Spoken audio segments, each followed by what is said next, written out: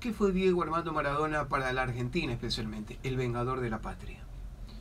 El partido ante Inglaterra selló históricamente un duelo contra los ingleses por parte de los argentinos. La guerra que no pudieron ganar en las Malvinas se la ganó en la cancha. Primero la mano de Dios, picardía pura, que después eso lo facturará la vida a Maradona, porque él pensaba que también se podía hacer picardía fuera de la cancha de juego lo que es aplaudido dentro de la cancha, fuera de la cancha, no es bien visto. El gol, el mejor de los mundiales. Inglaterra humillada.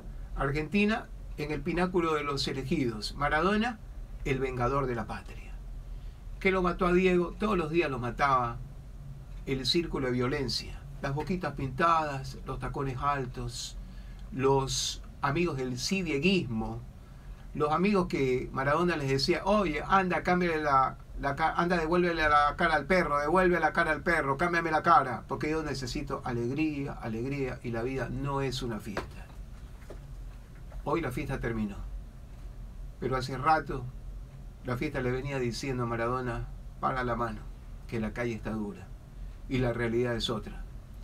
Estuvo enfermo durante mucho tiempo, una lástima, de que uno de los símbolos de la alegría, que es el fútbol, y un hombre vinculado siempre a sus raíces populares, las cuales, o a las cuales nunca renunció, ese es uno de del brillo y el rango que se lleva, eh, se metió después en la política.